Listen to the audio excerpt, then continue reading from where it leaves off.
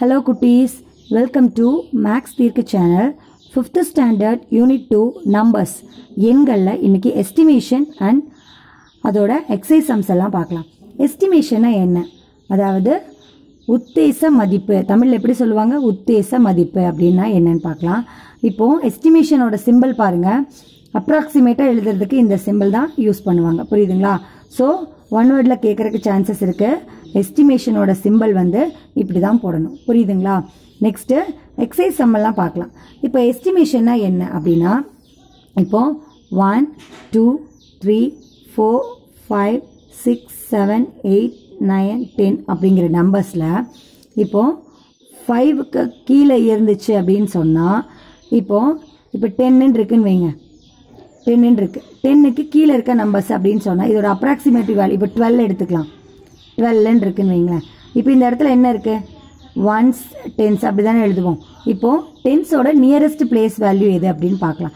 So இப்போ டுவெல்லுக்கு இப்போ டுவெல்லுக்கு nearest place value எது அப்படின்னு எழுதுவோம்னா இப்போ லெவல் டுவெல் இப்படி தானே இருக்கும் ஸோ நியரஸ்ட் பிளேஸ் வேல்யூனா எது வரும் பாருங்க.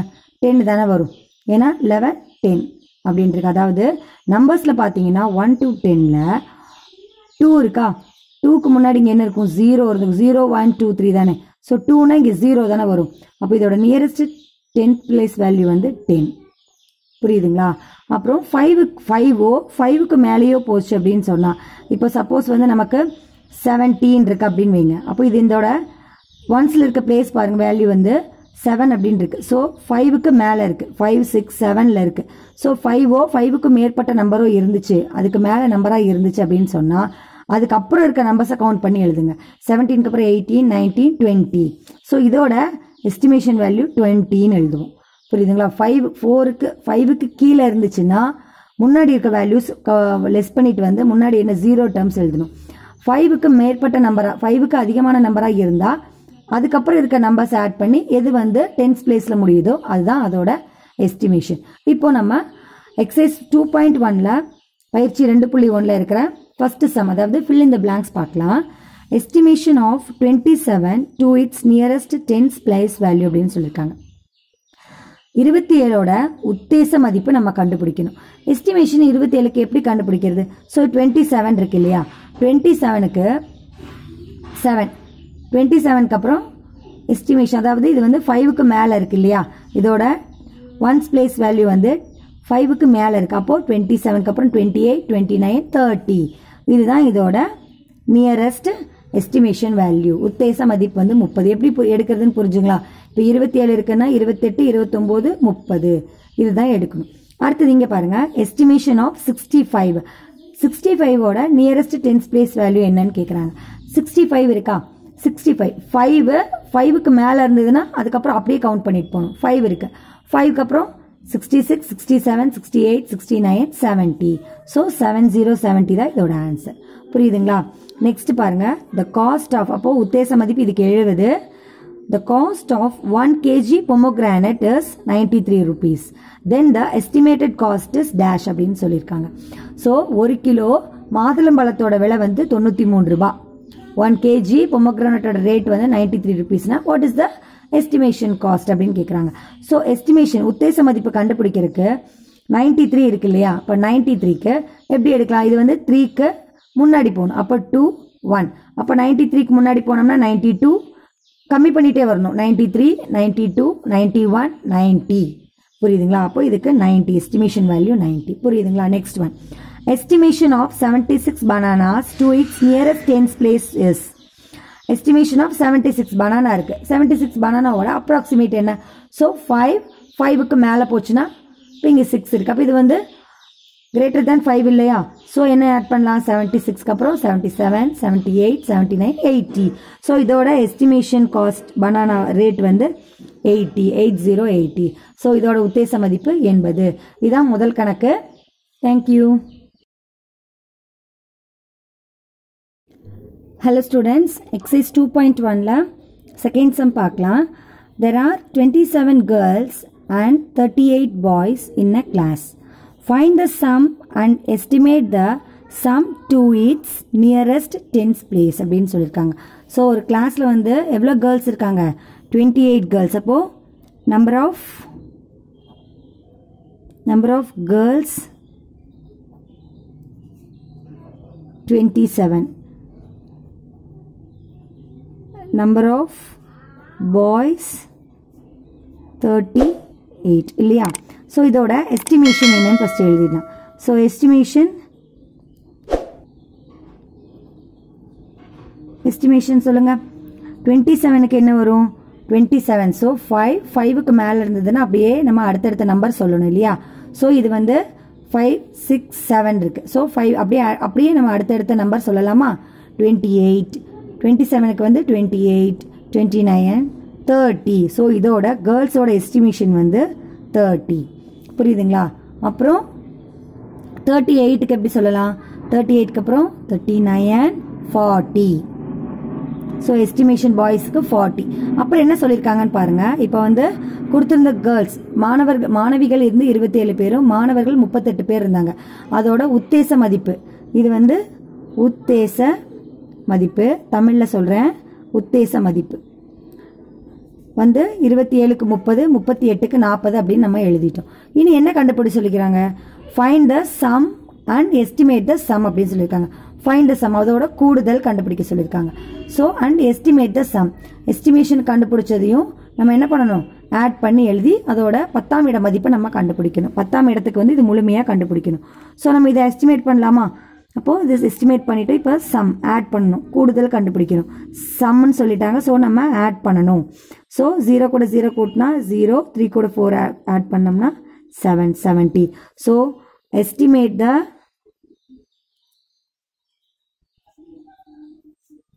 சம்மோட ஆன்சர் வந்து செவன்ட்டி இதான் இந்த சம்மோட ஆன்சர் தேங்க்யூ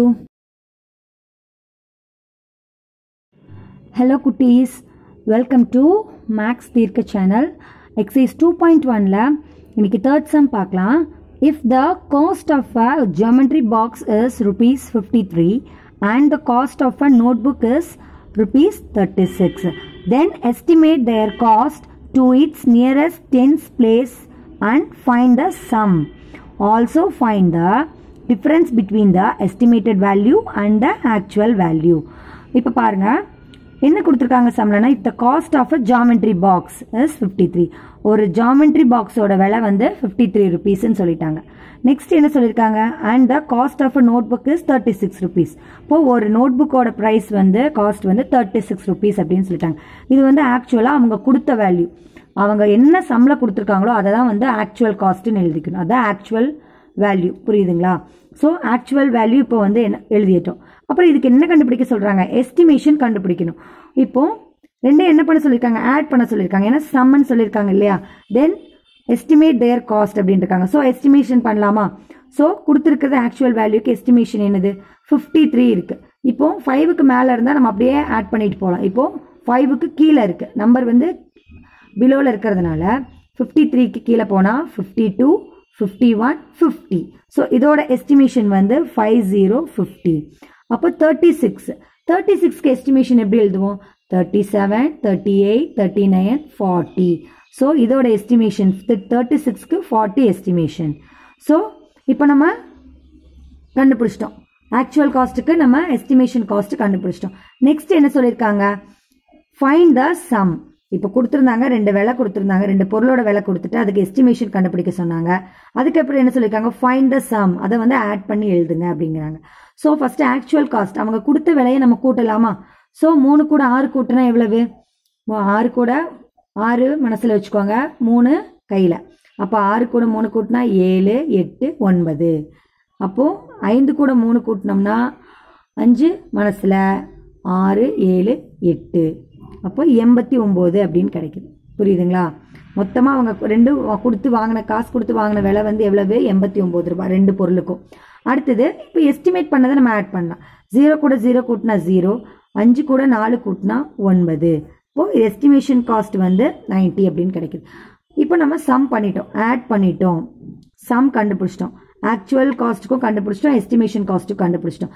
அப்புறம் என்ன சொல்கிறாங்கன்னு பாருங்கள் ஃபைண்ட் த சம் நம்ம சம் கண்டுபிடிச்சிட்டோம். Also find the difference difference எதுக்கு டிஃபரன்ஸ் கண்டுபிடிக்க சொல்கிறாங்கன்னா between the estimated value and the actual value so estimated வேல்யூலேருந்து actual வேல்யூவை மைனஸ் பண்ணி எவ்வளோ டிஃபரன்ஸ் கிடைக்குது அப்படின்னு கண்டுபிடிக்க சொல்கிறாங்க ஸோ டிஃபரன்ஸ் கண்டுபிடிக்க சொல்கிறாங்க இப்போ டிஃபரன்ஸ் இஸ் ஈக்குவல் டு இப்போ எப்படி? Estimated cost estimated cost minus actual cost so estimated cost எவ்வளவு? நம்ம ஆட் பண்ணி கொண்டு வந்திருக்கோம் நைன்ட்டி புரியுதுங்களா? இங்கே நைன்ட்டி இருக்குல்ல அது இங்கே எழுதிக்கணும். மைனஸ் மைனஸ் ஆக்சுவல் எவ்வளவு? எயிட்டி நைன் ஸோ நைன்ட்டியில் எயிட்டி நைன் போச்சுன்னா டிஃப்ரென்ஸ் வந்து சாரி இங்கே ருபீஸ் போட்டுக்கோங்க. நைன்ட்டி ருபீஸ்லேருந்து எயிட்டி நைன் ருபீஸ் போச்சுன்னா ஒன் ருபி தான் இதோட டிஃப்ரென்ஸ் ஸோ இந்த ரெண்டுக்கும் ஜாமெட்ரி பாக்ஸ்க்கும் நோட் புக்கும் உள்ள டிஃப்ரென்ஸ் எவ்வளவு தான் ஒன் ருபி இதுதான் இந்த சம்மோட ஆன்சர் புரிஞ்சிருக்கும்னு நினைக்கிறேன்.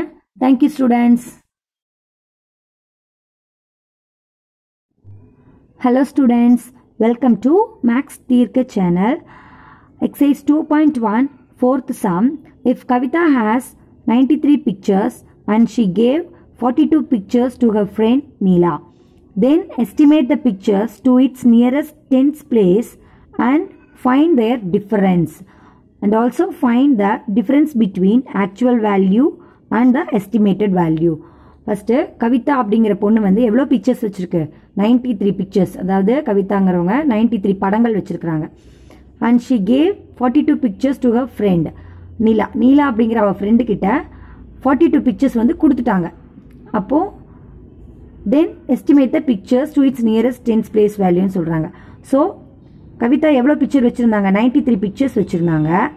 அப்புறம் அவங்க ஃப்ரெண்டுக்கிட்ட எவ்வளோ பிக்சர்ஸ் கொடுத்துட்டாங்க? ஃபார்ட்டி டூ பிக்சர்ஸ் கொடுத்துட்டாங்க ஸோ நைன்டி த்ரீக்கு ஆக்சுவலாக அதான் அவங்க வச்சுருந்தாங்க. இதுக்கு எஸ்டிமேஷன் பிக்சர்ஸ் எவ்வளோ இருக்கும்? ஸோ நைன்டி த்ரீ அப்படின்னா ninety two ninety one ninety so இதுக்கு எஸ்டிமேஷன் வந்து நைன்ட்டி ஸோ ஃபார்ட்டி டூக்கு எப்படி எழுதுவோம்? இதுவும் ஃபைவுக்கு பிலோ தான். ஸோ ஃபார்ட்டி ஃபார்ட்டி டூ இங்கே இருக்குது ஃபார்ட்டி ஒன் ஃபார்ட்டி புரியுதுங்களா? இப்போ நம்ம எஸ்டிமேஷன் எழுதிட்டோம். அப்புறம் என்ன சொல்கிறாங்கன்னு பாருங்கள் இப்போ எஸ்டிமேஷன் நம்ம எழுதிட்டோம். Next and find their difference அப்படிங்கிறாங்க. டிஃபரன்ஸ்னால் என்ன? மைனஸ் பண்ணணும். டிஃபரன்ஸ் அப்படின்னா சப்ராக்ஷன் சப்ராக்ட் பண்ணணும். புரியுதுங்களா? இப்போ நம்ம சப்ராக்ட் பண்ணலாமா? த்ரீயில் டூ போச்சுன்னா எவ்வளவு? த்ரீ இருக்க த்ரீயில் டூ போயிடுச்சுன்னா ரிமைனிங் ஒன் நைனில் ஃபோர் போச்சுன்னா எவ்வளவு? ஃபைவ் அப்புறம் அதே மாதிரி இப்போ ஆக்சுவல் பிக்சர்ஸை நம்ம மைனஸ் பண்ணி எழுதிட்டோம். அப்போ ரிமைனிங் பிக்சர்ஸ் எவ்வளோ தான் இருந்திருக்கும்? இது தான் ரிமைனிங் ரிமைனிங் எவ்வளோ இருக்கும்? மிச்சம் எவ்வளோ இருந்திருக்கும் பிக்சர்ஸ் ஃபிஃப்டி ஒன் பிக்சர்ஸ் தான் நம்ம கவிதா கிட்ட இருந்திருக்கும். புரியுதுங்களா? இதான் வந்து ரிமைனிங் பிக்சர்ஸ் ஸோ எஸ்டிமேட்டட் வேல்யூவும் நம்ம என்ன பண்ணணும்? மைனஸ் பண்ணணும். ஸோ ஜீரோவில் ஜீரோ மைனஸ் பண்ண ஜீரோ நைனில் ஃபோர் மைனஸ் பண்ணோம்னா ஃபைவ் புரியுதுங்களா? இப்போ எஸ்டிமேட்டட் பிக்சர்ஸ் எவ்வளோ தான் இருந்திருக்கலாம்? அப்ராக்சிமேட்டாக ஃபிஃப்டி இருந்திருக்கும். அதாவது உத்தேச மதிப்பு வந்து ஃபிஃப்டி இருந்திருக்கும்.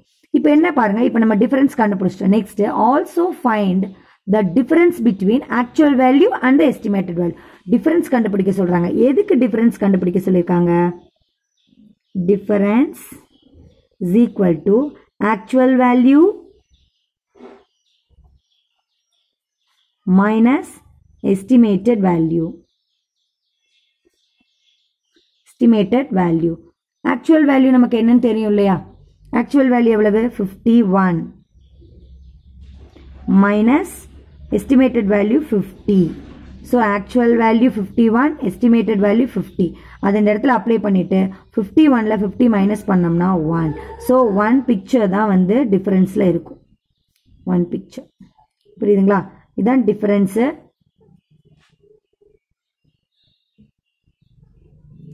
டிஃப்ரென்ஸ் நம்ம கண்டுபிடிச்சிட்டோம். இந்த ரெண்டுக்குள்ள டிஃப்ரென்ஸ் வந்து ஒன் பிக்சர் ஒன் பிக்சர் இதான் இந்த சம்மோட ஆன்சர் புரிஞ்சிருக்கும்னு நினைக்கிறேன் ஸ்டூடெண்ட்ஸ் தேங்க்யூ